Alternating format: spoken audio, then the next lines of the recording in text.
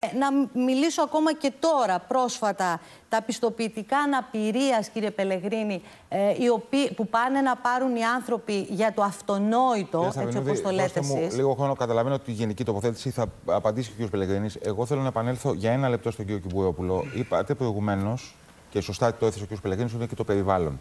Είναι προφανές ότι η ανηφόρα ζωής για εσά ήταν πιο απότομη από ό,τι ήταν για πολλούς. Ήταν πιο δύσκολη, το είπε και ο κ. Μητσοτάκης όταν σας παρουσίασε νιώσατε ότι από τη δήλωση Πολάκη, δεν μένω στα πρόσωπα, από τη δήλωση αυτή που έγινε, ότι αδικείται αυτή η πορεία ζωής που. οι δυσκολίες που αντιμετωπίσατε για να φτάσετε να είστε υποψήφιος Ευρωβουλευτής, πώς περάσατε όλα αυτά τα χρόνια; Για μένα, για μένα προσωπικά είναι μια άποψη. Είναι μια άποψη ενός πολίτη, τη χάνει να είναι υπουργός, αλλά είναι μια άποψη. Και έτσι την αντιμετωπίζω, την ακούω, τη φιλτράρω και προχωράω.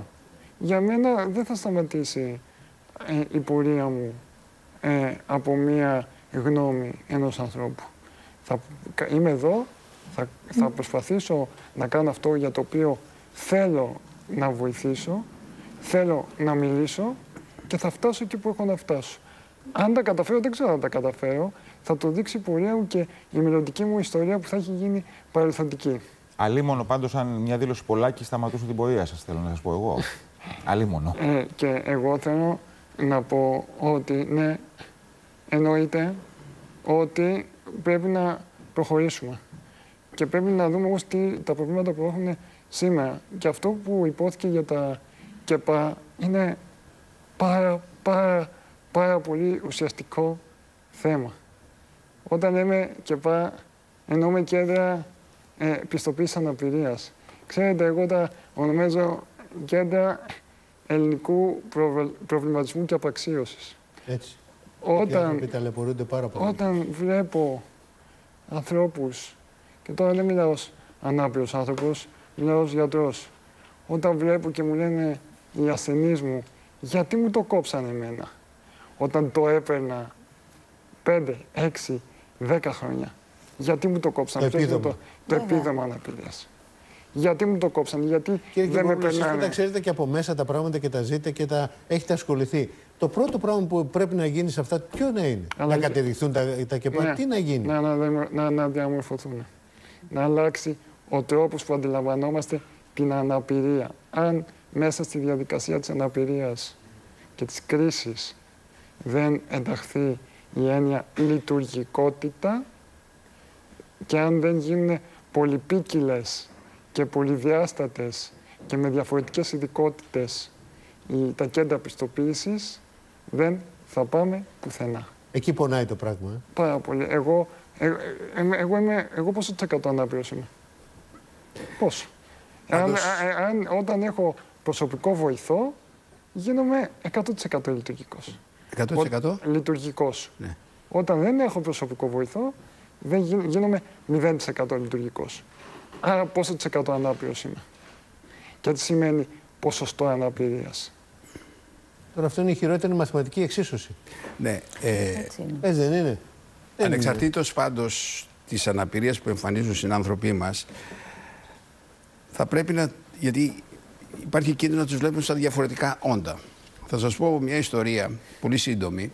Ήμουν στην Αμερική στις αρχές της δεκαετίας του 90 και παρακολούθησα στην τηλεόραση μια εκπομπή που αναφερόταν σε ένα ίδρυμα που είχε στήσει ο Τζέρι Λούις, ο παλιός γνωστός κωμικός. Ε, όπου εκεί άνθρωποι, παιδιά με σοβαρές αναπηρίες ε, περιθάλπτονταν. Και ένας απόφυτος αυτού του ιδρύματος ήταν Γενικός Εισαγγελέας ολόκληρης της περιοχής. Και τον έδειχνε και προσπαθούσε να εξηγήσει στη μητέρα του, για αυτό που λέει για το περιβάλλον, ότι είμαι ένας κανονικός άνθρωπος. Σκέφτομαι όπως εσύ, κλαίω όπως εσύ, γελάω όπως εσύ, κάνω τα ίδια πράγματα, απλώς δεν περπατάω. Θέλω να πω ότι η αναπηρία είναι ένα κομμάτι, αλλά από εκεί και ύστερα είναι ο άνθρωπος και θα πρέπει σε αυτό το πνεύμα να αντιμετωπίζουμε τα πρόσωπα αυτά.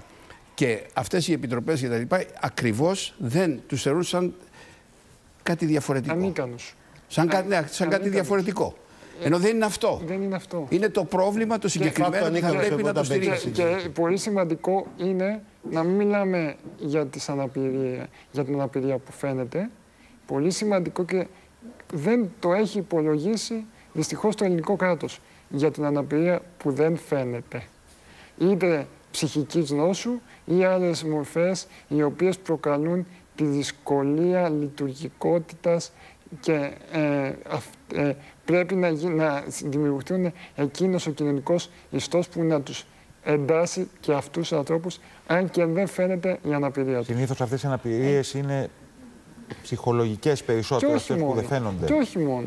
Μπορεί να είναι στο αίμα, μπορεί να είναι ναι. στα οστά, μπορεί να είναι πράγματα που δεν φαίνονται, αλλά προκαλούν την ίδια αναπηρία ε, σε αυτούς τους ανθρώπους. Κύριε Κυμπρόπουλε, αν είχατε μισό λεπτό, κύριε Σταυρινότη, εάν στους διαδρόμους της Βουλής ναι. ή κάπου αλλού, ας πούμε, συναντούσατε τον κύριο Πολάκη, τι θα του λέγατε; Θα τον έβαλα, θα καθόμασταν κάτω και θα ήθελα να κάνουμε κουβέντα προσωπική και έναν διάλογο να δω τι έχει να πει. Γιατί ξέρετε και το Facebook και τα Twitter και αυτά μερικές φορές είναι, ε, καταστρέφουν την όλη σκέψη. Η προσωπική επαφή και λόγω και ειδικότητας ανοίγει πόρτες, ανοίγει δρόμους, ανοίγει επικοινωνίες. Θα του λέγατε με αδίκησες, ας πούμε; Θα ήθελα να ακούσω τη βαθύτερη του σκέψη. Είναι και οι δύο γιατροί και θα βρεις κανέναν τόπο συνεννόηση. Θα τον ψυχαναλύατε, καταλαβαίνω θα περισσότερο. Τον άκουγα, θα τον άκουγα τι έχει να πει. Γιατί είπατε στην δήλωση ότι πιο πολύ σα στεναχώρησε η στάση του Πρωθυπουργού από τη δήλωση του κ. Πολάκη. Τι περιμένατε τον κύριο Τσίπρα να κάνει; Ήθελα να ακούσω τι έχει να πει και τι έχει να δώσει κάτω από την πολιτική του στάση.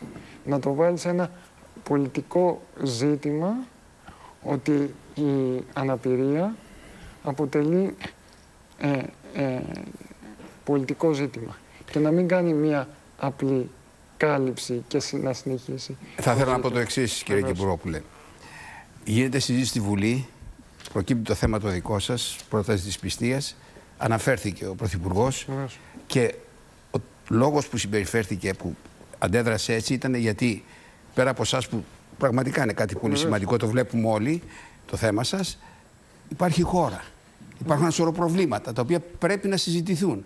Και αυτά μπήκαν όλα στο, στην άκρη. Ε... Δεν υπάρχει αμφιβολία ότι εδώ και 4-5 μέρες μονοπολείται όλο το.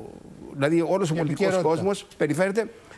Λέω το, και μην παρεξηγηθώ. Όχι, όχι, το, ζήτημά, το ζήτημά σας είναι πρώτης προτεραιότητας. Δεν, δεν υπάρχει αμφιβολία περί αυτού.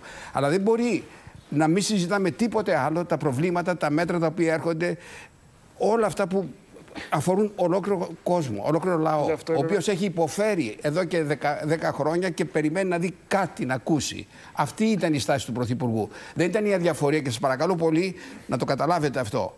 Δεν ήταν αδιαφορία, ήταν η μέρημνά του πέρα από το δικό σας ζήτημα και για το ολόκληρο το λαό.